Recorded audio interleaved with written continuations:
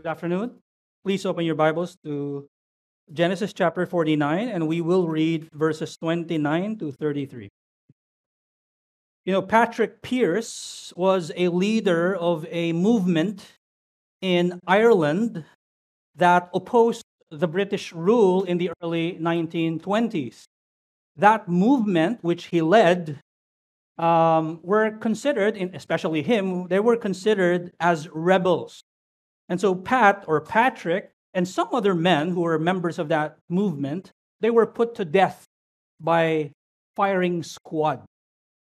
But days before he died, he wrote a letter to his mother, and in that letter he said, This is the death I should have asked if God had given me the choice of all death to die a soldier's death for Ireland and for freedom.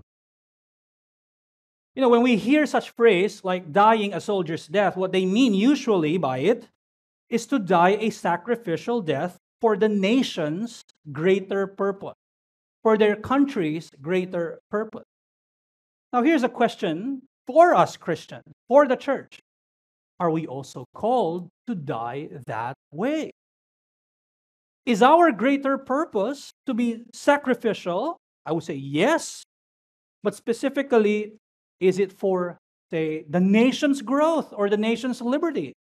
Are we called really to also die a soldier's death? Especially when you say Christians, you're dealing with sacrifice, you're, you're talking about sacrificial, being sacrificial, right? But is it sacrificial in a sense like dying a, a, a soldier's death? Or should we die a saint's death? I hope and I pray that we would understand and we would have a better perspective when it comes to death and that God would help us this afternoon. And so let us read chapter 49, verses 29 to 33. It says, All these, sorry, verse 29. Then he commanded them and said to them, I am to be gathered to my people Bury me with my fathers in the cave that is in the field of Ephron the Hittite, in the cave that is in the field at Machpelah, to the east of Mamre, in the land of Canaan, which Abraham bought with a field from Ephron the Hittite to possess as a burying place. There they buried Abraham and Sarah his wife. There they buried Isaac and Rebekah his wife, and there I buried Leah. The field and the cave that is in it were bought from the Hittite. When Jacob finished commanding his sons, he drew up his feet into the bed and breathed his last and was gathered to his people. The grass withers, the flower fades, but the word of our Lord will stand forever.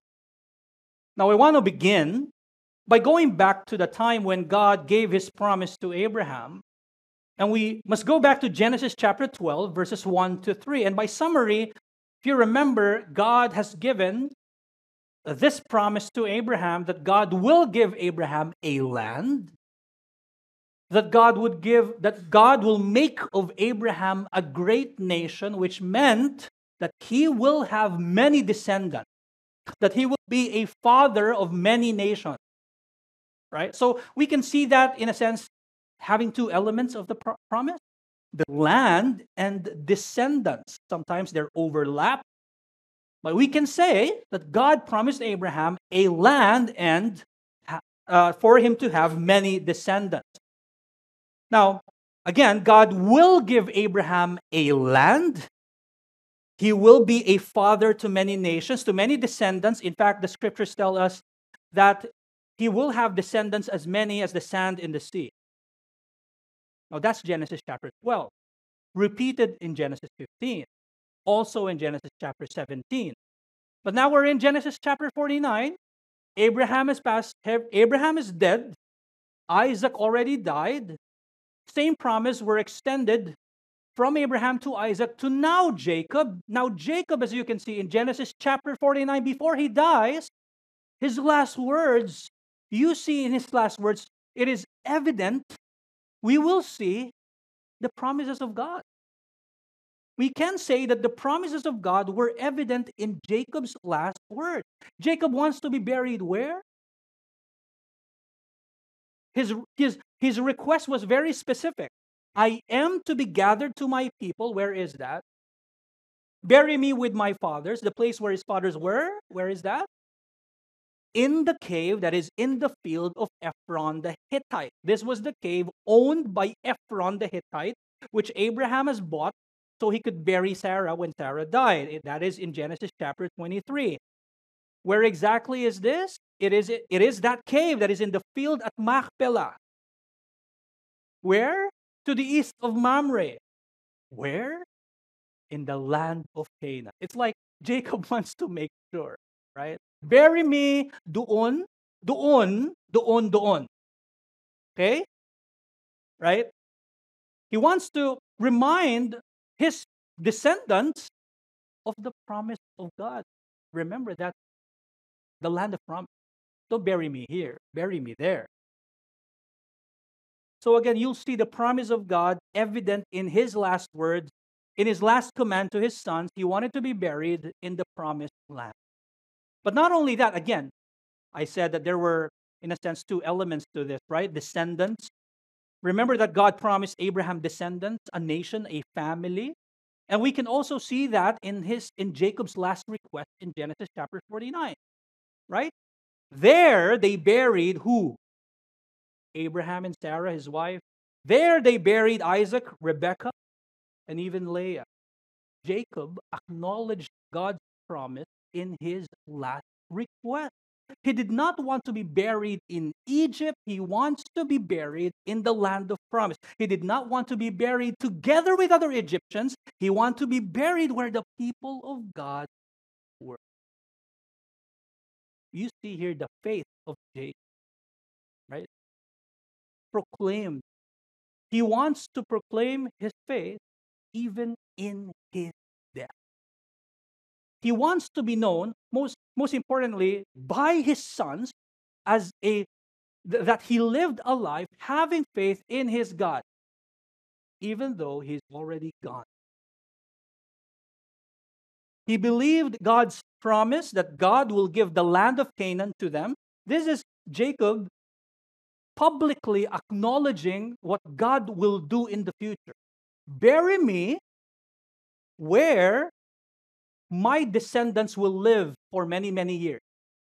Not here. Yes, we will stay in Egypt for many more years. But he believes that God will free them from Egypt in the future and bring them back to the land of promise. That, that's the faith that Jacob had. And his faith, I would say, enabled him to die well based on his actions, based on how he handled himself here, it does look like, it does look like Jacob was well prepared to die. You know, death is usually something we think about when we attend memorial services. In fact, we don't remember death.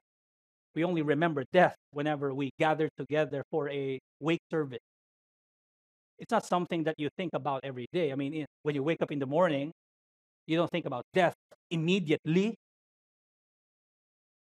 but you're confronted and you are, uh, you remember the reality of death whenever we are attending a serve, a memorial service. We don't think about it every day. It's not in our everyday thought. And yet it is the one thing that is certain it has been said that life is uncertain. You don't know what's coming at you. But there's one thing certain, and it is death. And that this is something that we all have in common. We're all going to die.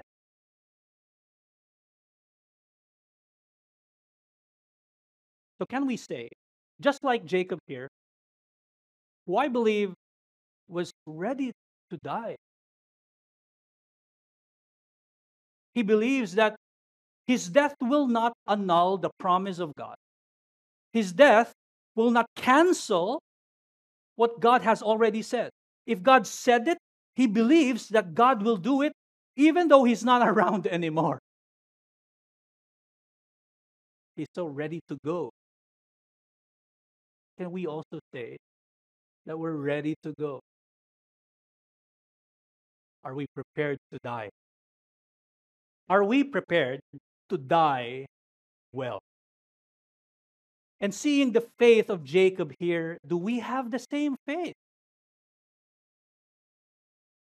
Do we have the same faith that we're in fact in good hands, even though we doubt? Do we believe in the promise of God that this was this is going this is what's going to happen when you die? Do we believe it? A faith that enables one to see death in a better perspective, in a biblical perspective, I would say, a faith that enables us to die well. Why is it even important to die well? Why the need to prepare for death? Because it would also enable us to live well here on earth. Um, a Puritan, Richard Baxter, said, um, the possession is there, the preparation is here. Most especially for us, for us who understand salvation, for us who understood what Christ has done for us, who believe in the saving work of our Lord and Savior Jesus Christ, there are many reasons for us to be prepared and for us to die well. And so, my message this afternoon is that faith in Christ enables us to die well. Faith in Christ enables us to die well. And dying well would mean two things, as seen in our passage today. And I have two points. First, a better future. Second, a comforting truth. A better future and a comforting truth. Let's point a better future. And so, after Jacob gives his benediction to his sons, uh, we, as we have studied in the past weeks, he has given his last messages to each and every uh, one of his sons. He commanded them for the last time. It's at verse 29 I am to be gathered to my people. That's what he said. Bury me with my father. Now, if you read it, it would seem as if he wants to be gathered where the other family members were buried. I mean, there's truth in that. I mean, at face value, if you read it as it is, you'll understand it that way. And again, that is true. To be buried where Abraham, Sarah, Rebecca, and Leah were. But that is not what this primarily means. Verse, let's go to verse 33. Verse 33 tells us that when Jacob finished commanding his sons, it says here, he drew up his feet into the bed and breathed his last and was gathered to his people. Just like what he said. He wants to be gathered with his people, and yet the moment he died, the Bible says he was gathered to his people already. Again, take note that when Jacob breathed his last, he wasn't buried yet. And by the way, Canaan was a long drive. drive. Uh, malayo ang, uh, hindi wala pang drive noon. Long walk. Yan. Malayo. Kaya nga in Genesis 50, makikita natin, he will be mummified, he will be preserved in order for them to be to bury Jacob. And yet, he wasn't buried yet, by the way. He, he wasn't buried yet. And the Bible says he's gathered to his people. What does this mean? So, Jacob, when he said, I am to be gathered to my people, he meant not a physical gathering, although it also means that. He meant not a physical gathering of dead bodies, but an actual gathering with those who have passed away. Richard Phillips had this to say and I quote, Jacob had died in the expectation of joining his people in heaven. He did die, and he was gathered to them. That's what's being said.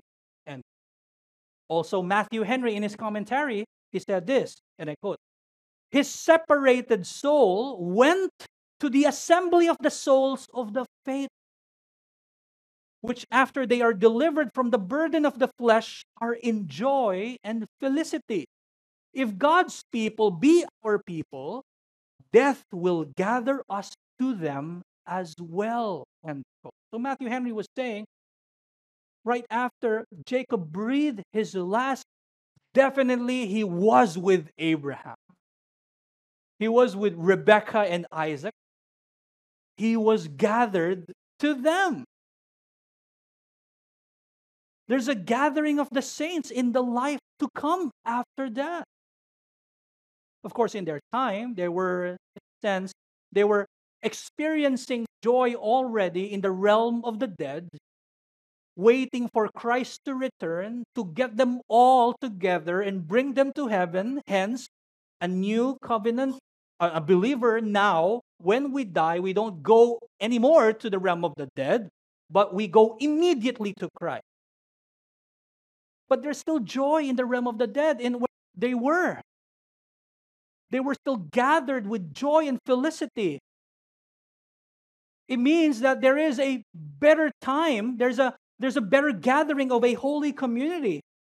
Better than this the, the kind of gathering that they had before. He was looking forward to it. I am to be gathered. I'm looking forward to a better gathering. But the point here is not just the gathering, brethren. The point here is that these saints, saints of old, look forward to something greater. They were looking forward to something greater. They were not looking forward to be gathered in grave. They were looking forward to a holier gathering. They were looking they were not just looking forward to a physical land which was Canaan, which is called the land of milk and honey. Yes, it is blessed having riches and resources, yet they were looking ahead. Hebrews chapter 11 says that Abraham was in fact looking for the heavenly city. These saints of old were looking for something greater when they were alive. In fact, scriptures always compare our earthly lives to what is to come, and scriptures use words that would remind us that what is to come is, in fact, incomparable to now. Romans chapter 8, verse 18. Paul says, For I consider that the suffering of this present time are not worth comparing with the glory that is reve- that is to be revealed to us. And Paul here is saying that when you are suffering, that you may be experiencing suffering in this present time, but take note that there is that, that what you are going through it's incomparable to the glory that you will have it's not yet revealed to us clarifies that in, in romans chapter 8 but it will be revealed to us when christ returns he also said in second corinthians chapter 4 and he, in fact, char- gives a charge to the church by saying, "Do not be afraid," or in other in other translations, "Do not lose heart."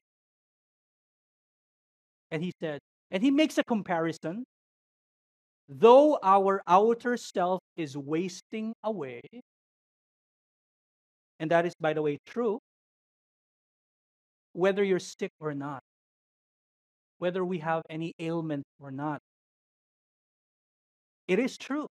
Our outer self is wasting away. We're getting old. We're getting weaker.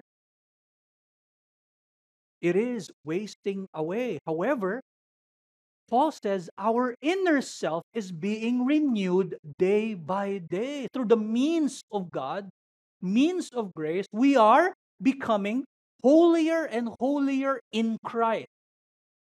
And then Paul says, for this light, so he, he gives a com- comparison, for this light momentary affliction, to see whatever affliction that we are experiencing on earth, he calls it first light. and momentary. And he compares it to what? An eternal, right? Eternal, not bound by time. And then he says, weight of glory beyond all comparison. That is the Apostle Paul in the New Testament, by the way, who is who who during that time had that uh, information or who has seen the testimony of Christ, who has been given the eyes to see what Christ has done. How about Jacob? How about the Old Testament saints? They did not know yet the full picture. And yet they looked forward to the future and saw it greater than what they had before. Paul also said, as we look not to the things that are seen, but to the things that are unseen, for the things that are seen are transient, but the things that are unseen are eternal. You see the comparison there. When Jacob said, I am to be gathered to my people, he's saying he's going to be gathered together with his people in heaven. To be with the faithful. He's looking forward. He wasn't just looking forward to be together in the grave, rather to be together with those who have faith, to be together in heaven. In fact, in Hebrews chapter 11, he's one of those faithful. He's one of those listed there in Hebrews chapter 11 as the faithful uh, disciples or the faithful believers, rather, of God. It says in Hebrews chapter 11, verses 13 to 16, let me read. These all died in faith, not having received the things promised. They did not receive it during their lifetime, but having seen them and greeted them from afar, and having acknowledged that they were strangers and exiles on the earth. For people who speak thus make it clear that they are seeking a homeland. If they had been thinking of that land from which they had gone out, they would have had opportunity to return. It says here in Hebrews chapter 11, they weren't just thinking of the land of Canaan, because if they're thinking of that, I mean, just that, they could easily just return there. What's the, they're desiring for the heavenly land. And it says, But as it is, they desire a better country that is a heavenly one.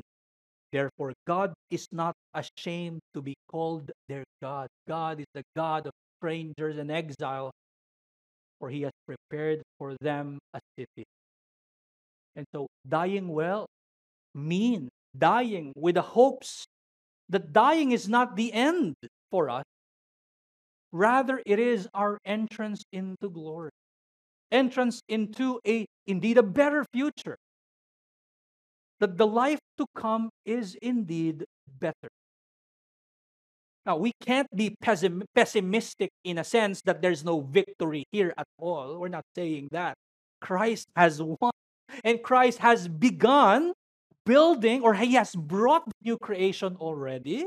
He's building church. Christ has won. Christ accomplished victory over sin and death. There is victory now in Jesus Christ, but there is also truth in a sense that we will experience greater things after death.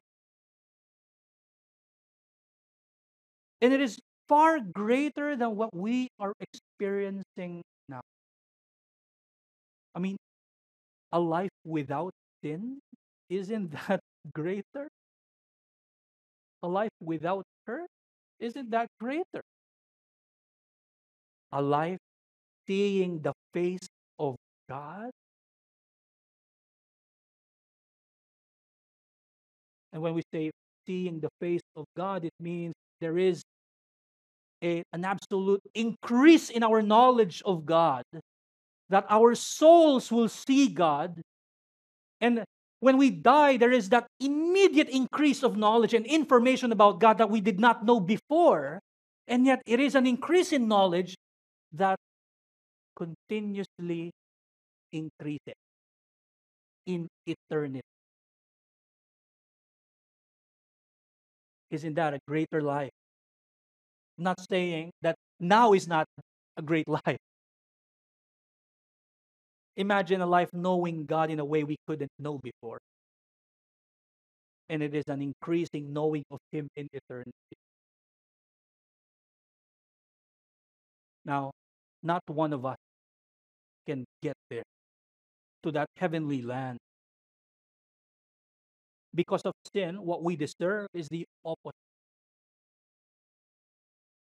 What is to come for those who have no faith in Christ is worse than the worst thing that you know that has happened here on earth. Think of the worst thing that has happened here on earth. It's worse because it is an eternity of experiencing the wrath of God towards them. But because of Jesus Christ, we will escape such wrath. And we deserve it. We deserve it. But we will escape it. Christ lived a sinless life. It was Him who lived that way that we cannot live. And He died a sacrificial death and He rose again from the dead. And because of Him, we will be graced with eternal life instead of eternal wrath that we deserve. And so, if you are not in Christ and you do not believe in Him, I plead to you, repent now of your sin. Take this seriously and ponder before it's too late. Repent of your sins and come to faith in our Lord and Savior Jesus Christ. And you know what? There is no other way. There is no other way. Christ is the only way. But again, for those who are in Christ, we are to look forward to what is to come not because of the play. And I'm sure we, our imaginations, imaginations are working right now. Ano kaya itura talaga nun? Is it true na maraming ginto doon? That we're gonna walk in uh, stones, yung mga kumikinang na bato? Ganun kaya yon? I'm not saying na totoo yun. It's not because of the place. Oh yes, God, Christ said He has prepared a place for us but it's not the place that makes it greater.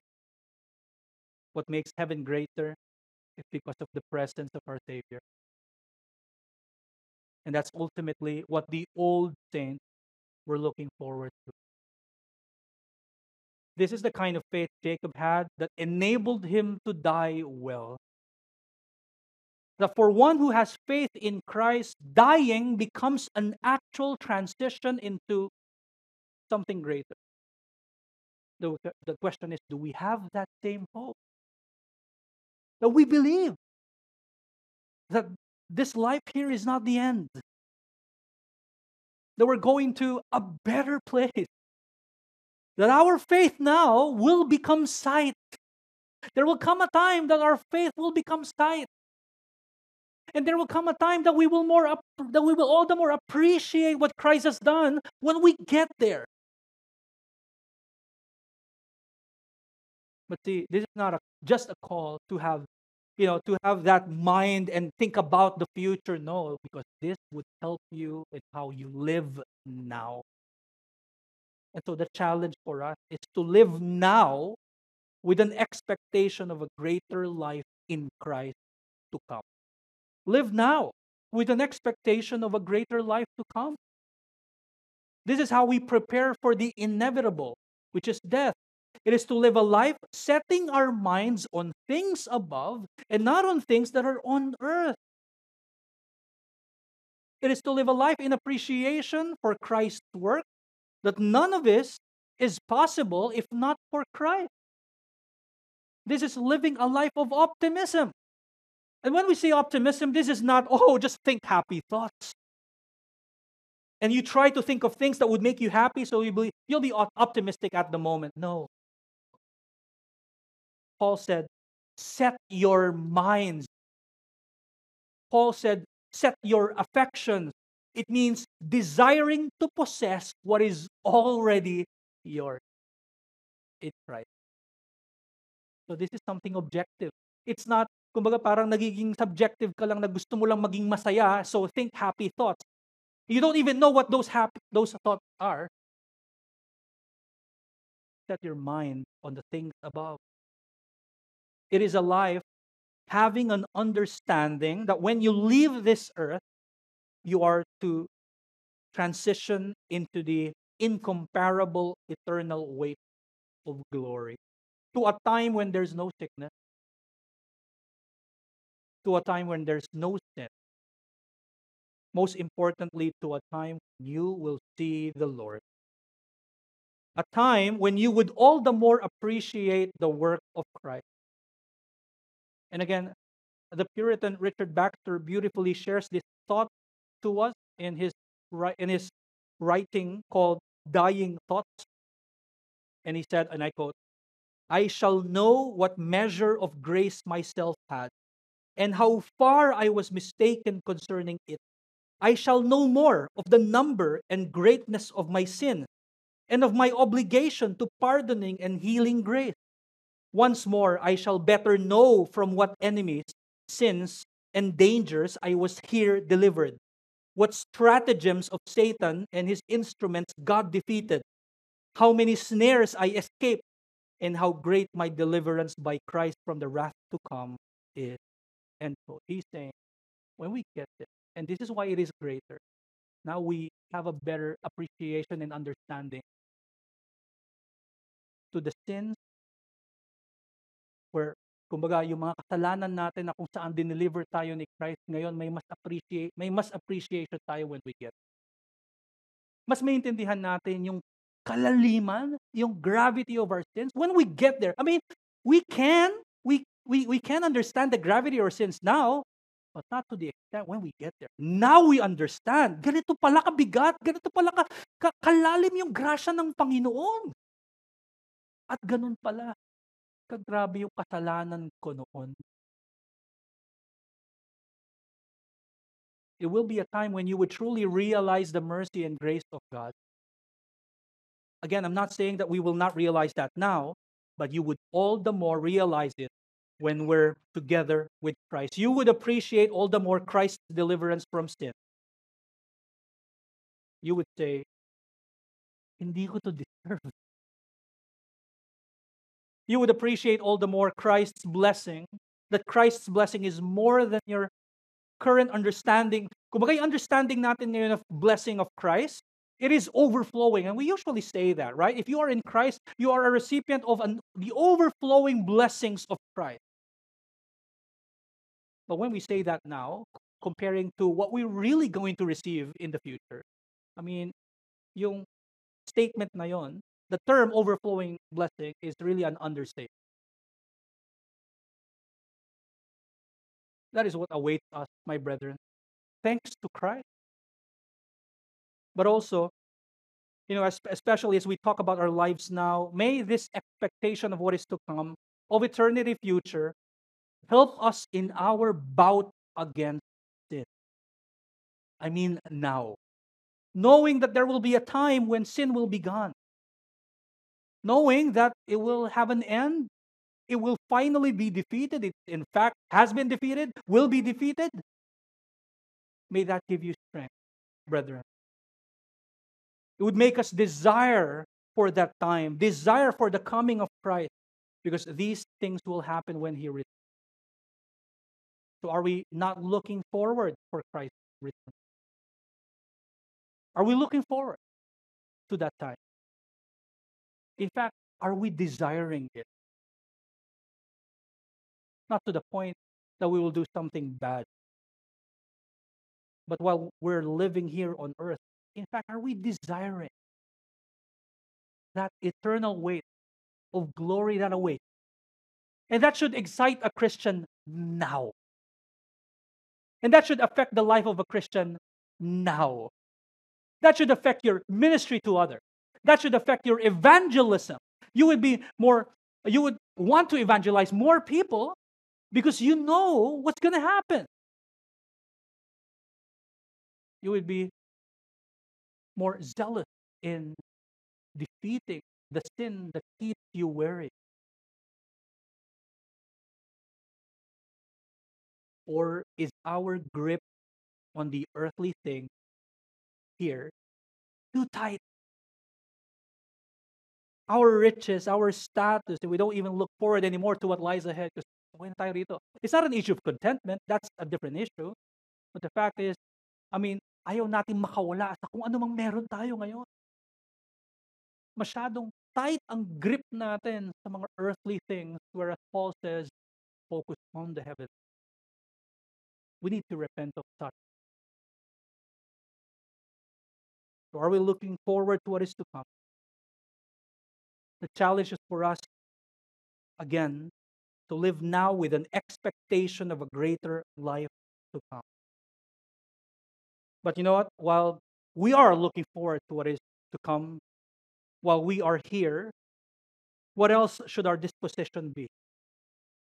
Let's go to the second point a comforting truth. Now, I want to begin the second point by going back to the life of Jacob because we're in his last passage, in the, in the passage that we would last see Jacob. Remember that Jacob lived a life of difficulty. He grew up, remember, he grew up seeing his father Isaac loving his older brother more than him, Esau. And because of that favoritism, siya din, nagkaroon siya ng favorite sa kanyang mga anak, right? Joseph. That also affected his fatherhood. And that caused relationship problems too within the brothers, but also, most importantly, kay Jacob. What else? He was hunted by his own brother Esau. In fact, Esau wanted to kill Jacob. He then lived in Laban's home for, I mean, he, he just wanted seven years, and then it extended up to 20 plus years. He was deceived by Laban. And then he had problems with his two wives na pinag-aagawan siya, Leah, Rachel. He had problems with his own sons. He lived his life from that point on. When he met God, he became limp. And we understood that from that time on, limp na siya up to the end of his life. And not only that, and I think the worst thing that has happened to him when it was when the time he learned about his son Joseph. He thought that Joseph died and was murdered or killed by an animal, rather. And so he lived that kind of life. But despite that, God was definitely with Jacob. We see also in his life, hindi lang yung mga difficulties, but the graces of God. God wrestled with Jacob to see that Jacob must be dependent on God alone. Not only that, God renamed Jacob as Israel. God touched the hip of Jacob. God preserved Jacob and his sons. These were the things, there were many things that God has done to remind Jacob of God's faithfulness. And so, having that as a context, having that in mind, having in mind a summary of a life full of challenges, full of difficulties, a life of having remaining sins, but also a life of being with God, we come now to the end of his life in verse 33. He drew up his. Imagine a, a full life of worry, challenges, difficulties, and now he now he comes to this point where he can just rest. He says he drew up his feet into the bed and breathed his last and was gathered to his people. He spent years of heavy burden, years with sin, but also with a grace from God. Now it's time to just draw up his feet into the bed. We see here the calmness that Jacob had. It's like saying, I'm done. Hindi I'm done in a bad way, or it's done. I've lived my life. Like he's expecting what's going to happen next, which is death. He knows it's going to come. And yet, he wasn't panicking. Oh, I'm going to die. What's gonna, what, what, what, what do I do? No, he drew up his feet into the bed. And see how I also say it? Very. He was calm. It was a time of rest. He's about to go to a state where there's no sin, it's now time to meet his maker. Again, Richard Phillips had this to say, and I like to quote him. He said, I think it's wonderful that the last movement of Jacob's traveled life was an act of faith. He didn't struggle with the thought of dying, so he calmly composed himself to wait for the Lord.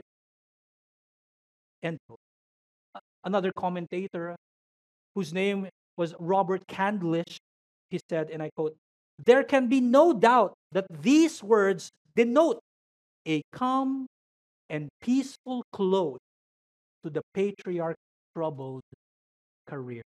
End quote. Very calm. He sees death, and I would use the words of Paul, as gain. Now, of course, not everyone has the same privilege of having this kind of peace at the moment of death. I'm talking about the privilege of such peaceful kind of death. Not everyone. But we're not talking about preparing for that moment. We're talking here about what if we die now? There must be due preparation now. There must be a change of perspective when it comes to death now, so that whenever it happens, and we may not be aware that it would happen, we're good to go. We'll be ready. Are we comforted by the fact that death is not the end? Or are we, and this is the common struggle when it when it comes to the topic of death, are we afraid? Jacob was not. Are we, are we afraid of death? And being afraid of death is in fact common to mankind because there's this fear of the unknown. What's going to happen next? That one is afraid of a possibility of not having the same comfort that we're currently having now when we're together, when you're with family and loved ones, that when one dies, you won't be with them anymore. And so there's fear. But for a Christian, there is comfort because we know what's ahead. We know. We are, in fact, called, Paul said, to not lose heart, meaning to not be afraid of death. Because we can approach death and live life now with assured heart. That when God takes away our earthly life, it is gain for us. Because to die for us means to be with Christ. And because of our remaining sins, we are fearful. And yet the Bible continuously assure us, assures us, do not lose heart, do not lose heart. Fear not, fear not. We need not to be afraid because there is life after our earthly life. In fact, there is no ceasing of life. It is because of what Christ has accomplished. And that is the only reason why we must have such hope. We must touch, we must have such comfort and assurance. If not for Christ, then all of this is in vain. Yes, death is the end. But Christ lived. Christ lived a sinless life for us. He died for us. He rose again for us. In fact, you know what? Christ's death is in fact better than Jacob's death. Jacob did not control over his did not have control over his death. He knew that it's going to come. He's aware of his coming death, but his death was not like Christ. Christ alone had the authority to actually give up his life, to yield up his life. Not only that, Christ's death is better than Jacob's death because Jacob's death did not accomplish anything. But death, the death of the greater Jacob, Jesus Christ, accomplished for us, for you and I, eternal life. Through his death, he has disarmed the power of death. Remember 1 Corinthians chapter 15? Verses 54 to 56 when the perishable puts on the imperishable and the mortal puts on immortality then shall come to pass the saying that is written death is swallowed up in victory. O death where is your victory? O death where is your sting? The sting of death is sin and the power of sin is the law. But thanks be to god who gives us the victory through our lord jesus christ. We will not remain dead because Christ lived. It has no sting, it has no power over us anymore. In his death on the cross, in his resurrection, Christ defeated enemy that is death. And that you and I do not experience second death. And Christ will finally defeat, according to 1 Corinthians chapter 15, verse 26, last enemy, which is against death he will finally defeat it in his return. I'd say it's the kind of faith Jacob had that enabled him to die well. He had faith in the promise of God that there's a better blessing that was to come, and that blessing was Christ. And in our time, he has come, and we are indeed called to die well, to have the same confidence, the same comfort. Most importantly, for us who understand the gospel. And so, my last challenge, brethren, is do not be afraid of death. Find comfort now in Christ. No, do not be afraid of death. Find comfort now in Christ. This is a call not to be careless in life, but this is a call to be more dependent upon the promises of God. Find comfort now. It benefits us now. I know it's not easy to do because we are naturally afraid of death. Especially when you're in that situation, when you're physically weak, you're sick, you're more vulnerable to the enemy's attack, and you'll definitely be afraid. But fear is usually a result of doubt. There is doubt as to what God says about heaven, about what God says about eternity, but let the gospel assure you, brethren, the gospel gives us more reasons to find comfort than be afraid.